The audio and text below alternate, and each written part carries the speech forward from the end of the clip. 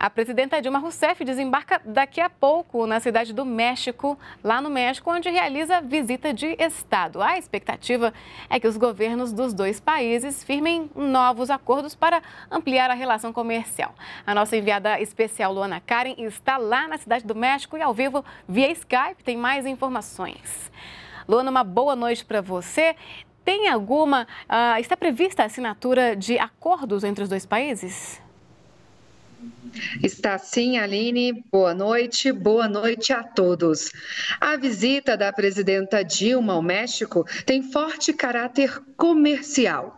A presidenta Dilma e o presidente Henrique Penha Neto vão assinar pelo menos três acordos: um para facilitar os serviços aéreos entre Brasil e o México, outro de cooperação turística e um terceiro acordo de investimentos com a definição de regras para as trocas comerciais entre os dois países. Segundo o Ministério de Relações Exteriores, o Brasil é o segundo país que mais recebe investimentos mexicanos, atrás apenas dos Estados Unidos. São cerca de 23 bilhões de dólares em áreas como alimentação, bebidas e telecomunicações.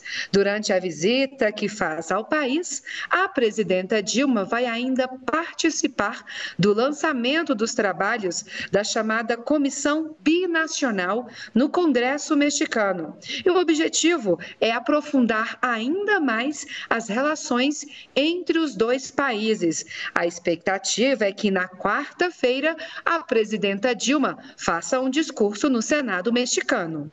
Aline. Luana Karen, ao vivo do México. Muito obrigada pelas informações, Luana.